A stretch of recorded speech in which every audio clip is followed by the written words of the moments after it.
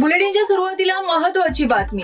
चोवीस ऑक्टोबरला होणारा आरोग्य खात्याच्या परीक्षेचा सावळा गोंधळ सुरूच एकाच दिवशीच्या दोन परीक्षांसाठी वेगवेगळ्या जिल्ह्यात परीक्षा केंद्र उमेदवार अडचणीत. दरवर्षी शिवतीर्थावर होणारा दसरा मेळावा यंदा कोरोना संकटामुळे मुंबईतल्या शनमुखानंद सभागृहात कमी लोकांच्या उपस्थितीत पार पडला. यावेळी शिवसेनेचे पक्षप्रमुख उद्धव ठाकरे यांनी भाजप सरकारवर जोरदार हल्लाबोल केलाय. आपला आवाज कोणी दाबू शकत नाही आपला आवाज दाबणारा जन्माला यायचे असं उद्धव ठाकरे यांनी म्हटलंय. उल्हासनगरमध्ये ऑन ड्युटी पोलीस कर्मचाऱ्यावर चाकू हल्ला झाला. उल्हासनगरच्या कॅम्प क्रमांक चारमध्ये गुरुवारी मध्यरात्री हा प्रकार घडलाय. पैशाच्या गैरव्यवहारावरून दोन गटांमध्ये तुंबळ हाणामारी सुरू होती. ही हाणामारी सोडवण्यासाठी गस्तीवर असलेले पोलीस अंमलदार गणेश डमाले आणि गणेश राठोड मध्यस्थी करायला गेले. त्यावेळी एका गटाकडनं पोलिसांवर चाकू हल्ला केला गेला आणि त्यामध्ये गणेश डमाले गंभीर जखमी झालेत.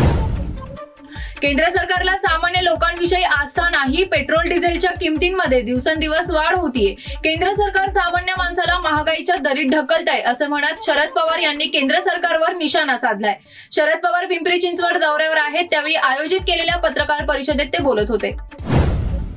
मुंबईतील अल्पसंख्याक कॉलेजची वाढती संख्या पाहता या अल्पसंख्याक कॉलेजमध्ये होणाऱ्या प्रवेशांचे ऑडिट करण्यात यावे यासाठी राज्यमंत्री बच्चू कडू यांच्या प्रहार संघटनेनं उच्च आणि तंत्रशिक्षण विभागाला पत्र लिहिलंय.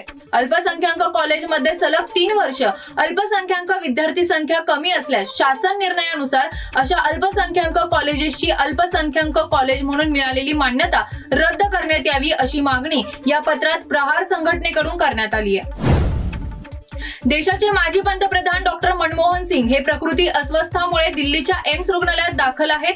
केंद्रीय आरोग्य मंत्री मनसुख मांडविया यांनी यांच्या तब्येतीची चौकशी करण्यासाठी एम्सला भेट दिली होती. त्यावेळी डॉक्टर मनमोहन सिंग यांचा एक फोटो काढून तो सोशल मीडियावर टाकण्यात आला होता. त्यावरून आता काँग्रेस पक्ष आक्रमक झाला असून केंद्रीय आरोग्य मंत्र्यांचे हे वर्तन नैतिकतेचा अभाव असणारे आणि प्रसिद्धीसाठी असल्याची टीका केली आहे. केंद्रीय आरोग्य मंत्र्यांनी यावर तात्काळ माफी मागावी अशीही मागणी करण्यात आली आहे. आयकर विभागाने मुंबईतील दोन बांधकाम व्यवसायातील समूह आणि त्यांच्याशी संबंधित काही संस्थानांच्या कार्यालयावर छापे टाकून कारवाई केली आहे. सिद्धूंची काल राहुल गांधींसोबत खलबता. नवज्योत सिंग सिद्धू कडून पंजाब काँग्रेस प्रदेशाध्यक्ष पदाचा राजीनामा मागे सिद्धूच पंजाब काँग्रेसचे प्रदेशाध्यक्ष राहणार. अधिक बातम्यांसाठी आणि ताज्या घडामोडींसाठी पाहत रहा Times of Democracy TOD Marathi. लोकांकडून लोकांसाठी.